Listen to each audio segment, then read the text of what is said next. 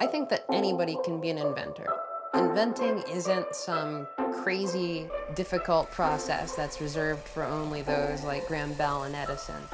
Any sort of science, technology, engineering, and math that you can imagine has an application someplace, and we need people who are doing those things.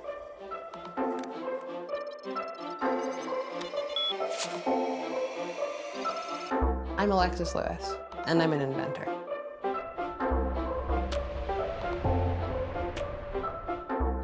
I'd say I've always been a curious person. Inventing is something simple and human. It's just problem solving with a physical solution. I came across a story of a mother who was forced to throw her infant out of the burning second story of a uh, apartment building to a 10-year-old waiting below. Smoke inhalation is actually a very, very significant threat when it comes to fire deaths. Ironically, you often have first responders on site below but unable to go in and help anybody. Now, if you gave them the ability to deliver a smoke mask to the people trapped inside, they might just be able to do something. Eventually, I ended up developing the emergency mask pod, and I'm currently working on getting that into the field.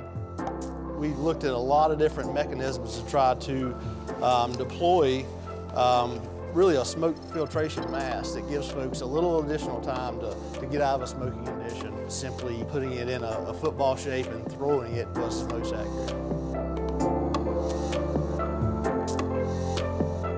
In 2011, when there was the Somali famine, I was horrified by what was going on over there. So I read to them a story about hundreds of kids being left by the roadsides to die. And Alexis said, we can't live in a world like that. That just can't be possible. She's always looking with her eyes and always asking with her head. So I started brainstorming and ended up thinking about the travois, which was originally an invention of the Native American Indians.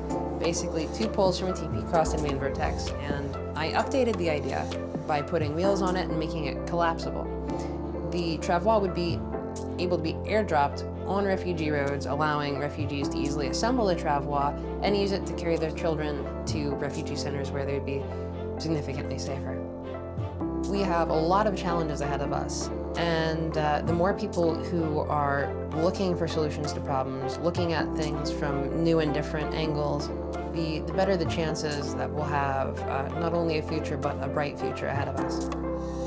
Keep exploring, keep being curious, and keep learning as much as possible.